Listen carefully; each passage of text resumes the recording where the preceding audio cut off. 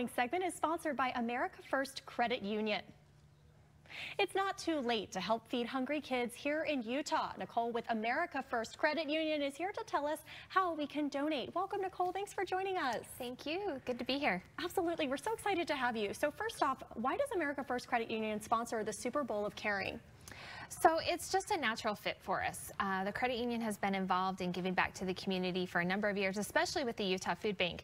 I think our partnership goes back to 1998 is when we initially started working with them. So when this opportunity came around, it was a natural fit for us to be able to jump in and help uh, collect donations to help feed hungry kids in Utah. Absolutely. Tell me a little bit about what the Souper Bowl of Caring represents.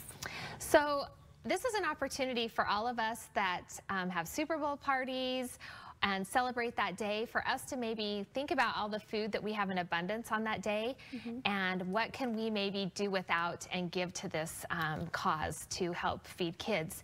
Um, when you think about, I'm a mom, I mm-hmm. have four boys, and when I think about that there's kids that go home from school um, that they don't have food in their homes, um, that's heartbreaking. And so again, if there's a way that we can contribute and give back and help those kids, um, it's something that we should take advantage of and help do. I love the concept because as you said, you know, this time of year with the Super Bowl parties, a lot of times there's an abundance of food and it's a good reminder to give back to those who are food insecure.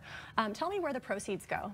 So uh, the proceeds, we made a donation this morning. The proceeds go to the Utah Food Bank, as well as I know there's some school districts that also benefit from it. Um, there's pantries in schools. They have food trucks that go around. So all of the money is going towards food and helping feed hungry kids. Amazing, Nicole. Tell me, when is the last day that donations can be accepted? So you have a couple of more days to be able to donate. Um, it's through February 11th. Um, and again, that we'll get all those donations collected and get them sent off to those um, organizations that help support those kids. And for people who just are wanting to give back, can they donate in addition to money? Can they donate food as well? They can. So you can donate online and donate money. Um, uh, there's a link on your website, and I believe there's a link on our website. Um, and then you can also donate food to the Utah Food Bank. Tell me a little bit about what America First Credit Union does as far as in the community. I know that you guys are so actively involved and you do a lot. We do. We look for opportunities. I, I mentioned we do a food drive every year. Um, we have a program called Warm the Soles where we buy uh, shoes for school-age children. Uh, we have a, a, a, program internally called Greater Good where we encourage our employees to find a program that they're passionate about in the community and give back, whether that's donating hours, time, or money.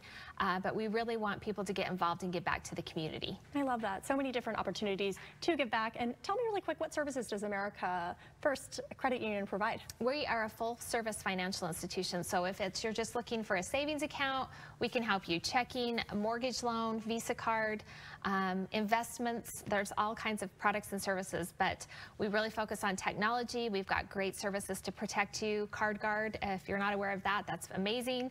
But come in and see us. We'd love to help you. All right, Nicole, it's such a pleasure. Thank you as always for coming in. And if you guys want to text to donate, text the number on your screen.